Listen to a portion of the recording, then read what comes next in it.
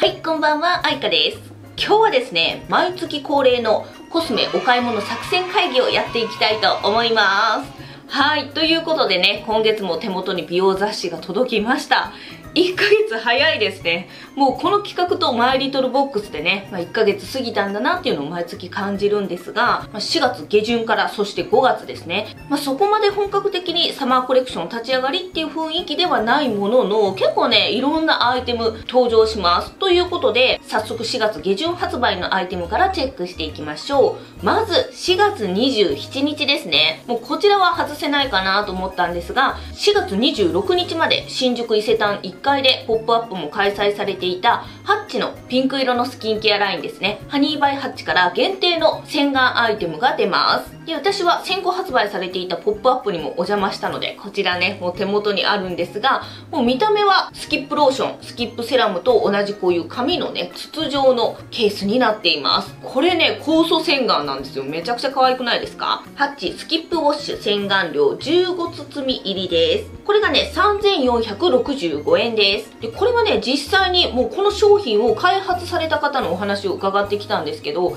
まあ、特徴として酵素洗顔ね、パウダー状の洗顔って皆さん使ったことあるかなと思うんですが、まずやっぱり毛穴がすっきりしますよね。で、タンパク質を分解してくれるので、こう肌表面のこうザラつきとかゴワつきが改善されて、こう滑らかな感触になるっていうのを感じる方が多いかなと思うんですよ。で、そういったメリットもあるんですが、同時に酵素洗顔ってちょっと乾燥しちゃうとか、毎日は使えないなとか、乾燥肌さんだと使使いにくいなとか、まあそういったデメリットもね、正直あると思うんですよ。なんですけど、このハッチのスキップウォッシュは、こんな感じ。見た目がね、なんかコラーゲンのゼリーみたいで可愛いんですけど、持ち運びしやすいパッケージなんですが、酵素のパウダー、めちゃくちゃ細かいんですけど、それ一粒一粒にハニーコーティングっていうのをされてるらしいんですよね。蜂蜜だけじゃなくて、ローヤルゼリーエキスだったりとか、プロポリスエキスっていうのもコーティングに入っているらしくて、これのおかげで、その蜂蜜の保湿効果っていうのがプラスされて、酵素洗顔ですっきりするんだけど、同時に乾燥もさせないっていうね、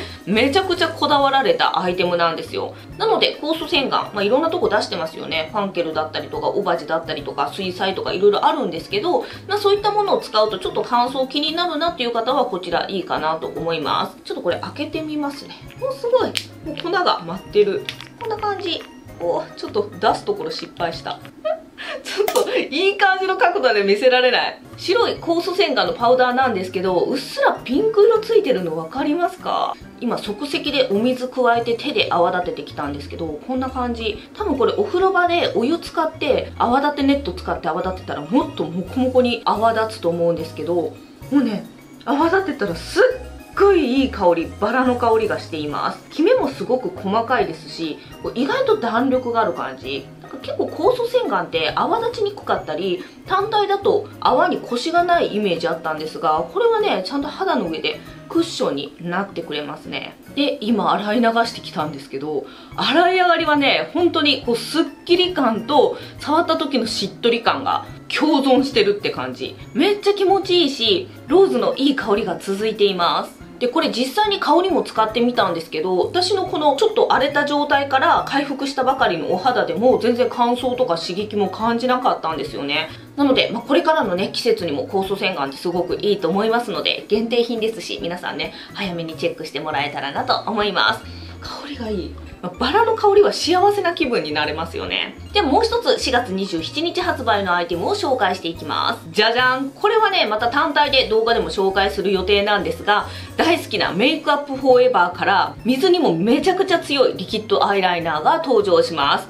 で、リキッドアイライナーって聞いて、なんか使うの難しそうと思って飛ばそうとした方は、ちょっとね、これ話最後まで聞いてもらいたいんですが、アクアレジストカラーインクということで、9色展開ですね。1本3520 1 0円です。で、空張りが豊富なだけじゃなくって、質感もマットなタイプ、メタリックなタイプ、それからね、ちょっと変更味のあるタイプがあります。で、筆先こんな感じ、かなり細いんですよ。だから余計に難しそうって思うかもしれないんですが、これがね、結構腰があって、こうスッてね、スッてね、強弱をつけて太い線から細い線まで自由自在にね引くことができるんですよね、まあ、ちょっと今画面に向けた手のひらに描いてるのでうまく描けないんですがこうリキッドのアイライナーそんなに得意じゃない私でもこれはね使うことできました。実際に普段のメイクの中でも使ってるんですけどこれ本当に落ちないです。なんかね噂ではあのオリンピックのこのシンクロの選手とかも使用されたらしくってそれくらい耐水性がすごいんですよね。なのでこれからの季節、まあ、レジャーだったりとか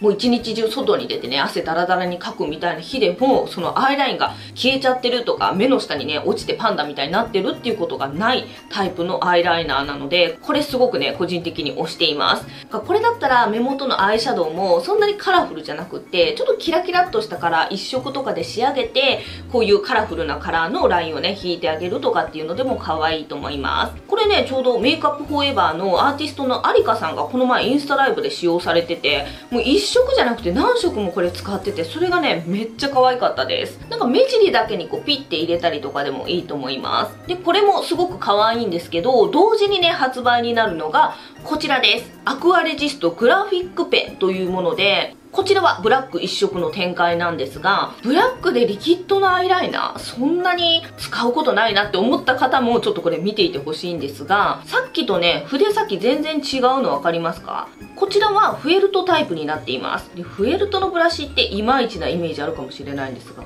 これがね、びっくりするぐらいかすれないの。このカーブしてるとこでも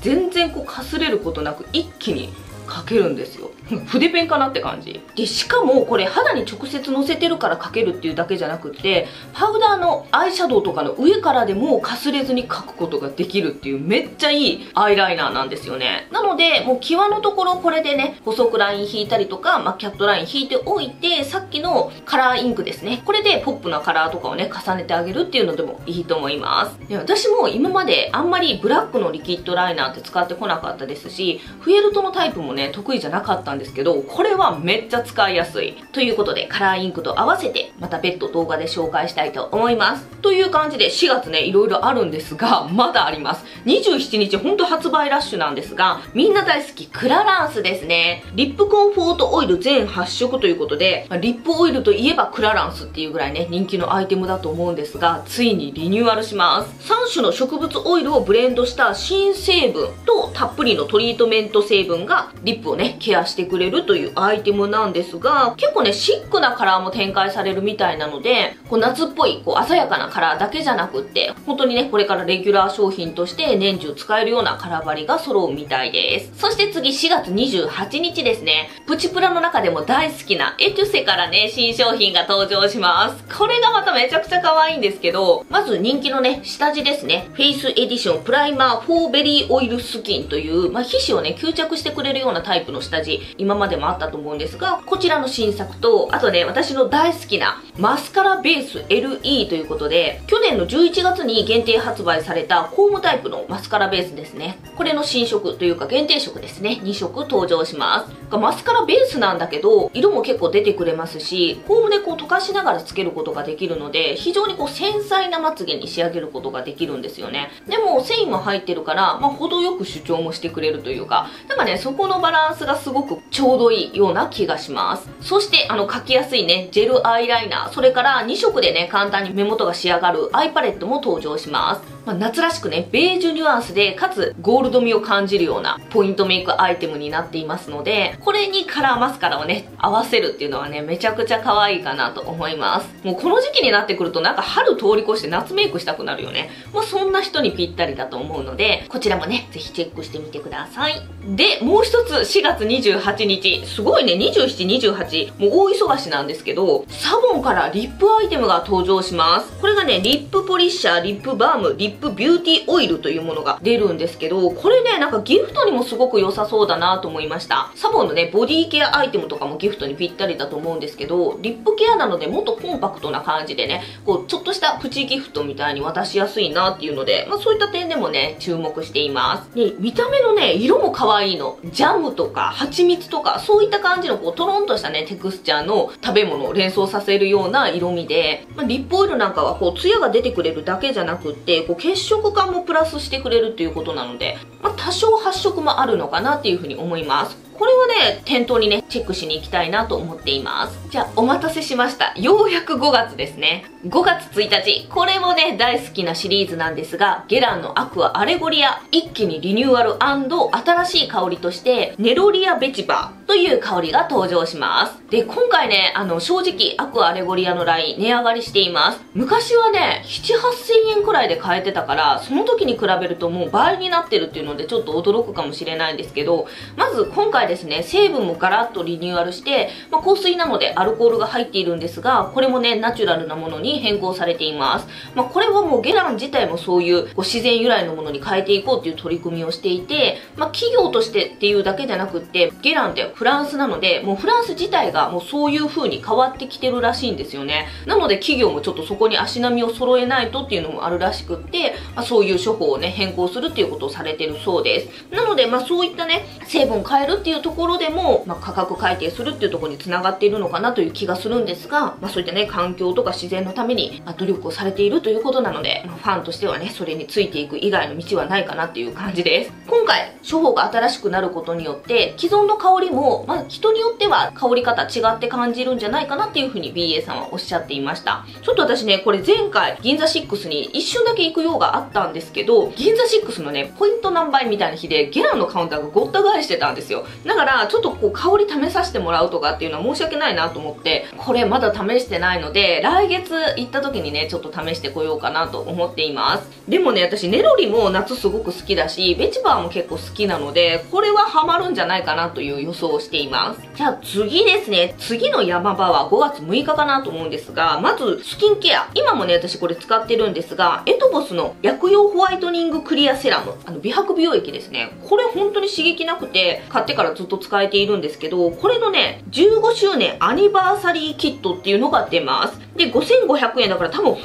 体のお値段だけ？え、めっちゃこれ得じゃない？これ本体にプラスで石鹸、それから泡立てネット、で、あの人気の日焼け止めですね。これのミニサイズがついてきます。だから、まあ、セラム、ちょっと気になってたっていう人もぜひこのキットから挑戦されるとお得かなと思いますし、もう普段使ってるよっていう方はぜひね、手元に残っててもストックとしてこのタイミングで買っておくとお得かなと思います。えー、なんか争奪戦になりそうだけど大丈夫かな？できれば買いたいなと思っています。で、同日5月6日、来ましたディオールです。はい、これはもうまるっと予約しています。で、今回はですね、あの、私これ全然5月6日の発売を忘れてたんですけど、あの、岩田屋のね、担当の BA さんご連絡くださって出ますよっていう風にアナウンスしてくれたので、まあ、せっかくなので岩田屋からね、今回は送ってもらいます。なので発売日に発送みたいな感じになるので、まあ、ちょっとね、レビューが遅くなるかもしれないんですが、楽しみに待ってもらえたらなと思います。で、カラーアイテムもたくさん出ますね。ま限定の3区が2色、それからリップオイルが2色とリップバーム2色とハイライトも2色出て、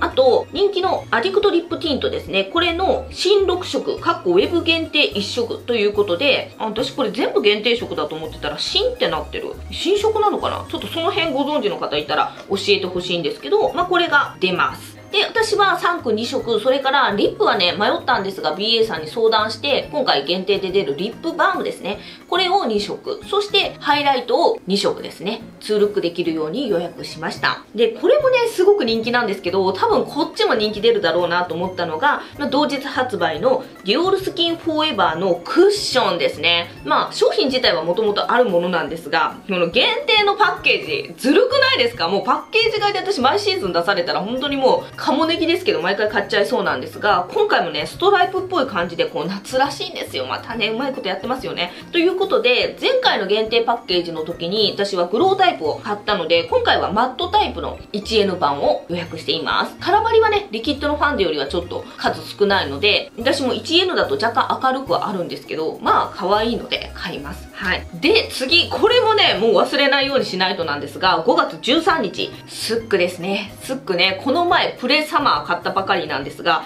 まあ、プレって書いてるからそりゃサマーも出るよね。ということで、まあ、おなじみのシグニチャーカラーアイズの限定が2色。それから、ハイライト。これがね、ちょっとマーブルっぽい見た目でめっちゃ可愛いんですが、メルティングパウダーハイライターが限定で1色。これなんか争奪戦の気がするんですよね。でプラスモイスチャーリッチリップスティック。来ました。私ねスックのリップの中ではなんだかんだこの昔からあるモイスチャーリッチリップスティックが好きなんですよ。なんかコレクションでこれが出るの久しぶりな気がするんですがでも限定ですね。これが2色出ます、まあ、今回はオンラインで買えるんじゃないかなっていうふうに思ってるんですけどどうだろう？大丈夫かな？はい。あの、頑張って確保したいと思います。で、次、ちょっとプチプラなんですけど、これ気になってます。5月16日のヴィセリシェ。アイブロウパウダー、それからクリアタイプのアイブロウマスカラですね。それと、アイブロウエンハンサーというね、スティック状のコンシーラーが出るんですよ。このコンシーラーがめっちゃ気になってます。で、これはアイブロウのラインナップで出るので、多分この眉下とかをこう整えたりするのに使えるんじゃないかなと思うんですが、今私使ってるのって、ゲランとアンプリチュードのハケタイプのコンシーラーなんですよ。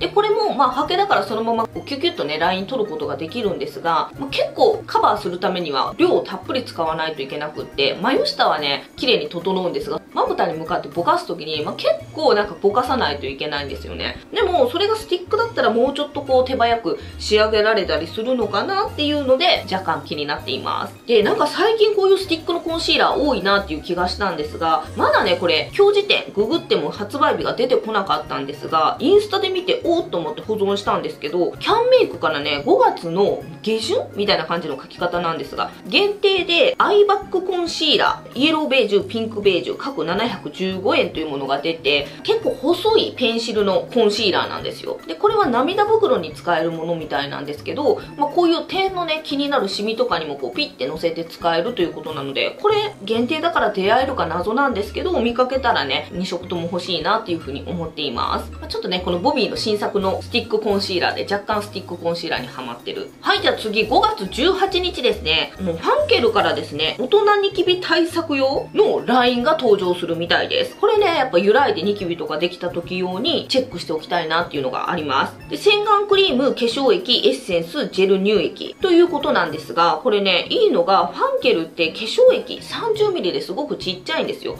本当に一度開封したら使い切りっていう感じだから、私もなんですけど、あの、ニキビが常にあるわけじゃなくって、例えば生理前だけできるとか、季節の変わり目だけできるとかっていう人だったら、こう一気にスキンケアのライン変えるのって大変だと思うので、一時的にもう本当にこの化粧液 30ml1 本とエッセンスも 8g だし、ジェル乳液も 18g とかだから、もうちょこっと買って、まあ、それ使い切る頃にはニキビが落ち着いてたらいいな、みたいな取り入れ方でもいいのかなっていうふうに思いました。やっぱね、そう、揺らいだ時に慌ててスキンケアをね、探したりすると、なかなか合うものが見つからなかったりして、余計にね、肌に悪かったりっていうのもあるから、肌のね、調子がいい時に良さそうなものっていうのは見つけておきたいので、ちょっとこれもね、試したいなと思っています。で、あっという間に最後ですね、同日5月18日に、クリスチャン・ルブタンのルビーワールドセントライブラリーということで、前回ね、私、ルビーワールドのシリーズ、こんなね、大きい赤色のね、ルブタンの箱にミニチュアサイズの香水がね、入っているものを視聴者さんから頂いてレビューさせてもらったんですが、多分その香りのさらにちっちゃいやつなのかな ?4 ミリサイズで、全10種類の香りを楽しめます。でもね、なんかボトルの色が赤いのと黒いのがあるから、もしかしたら、その今までの展開されていた香りプラス、新しくね、また同じボトルなんだけど、色味が違うの出てるんですよ。だからそれも楽しめるっていうラインナップなんじゃないかなという気がします。まあ、レビューの時にも言ったんですけど、結構ルブタンの香水って見た目のパンチがすごいから、香り立ちもすごそうに思うかもしれないんですけど、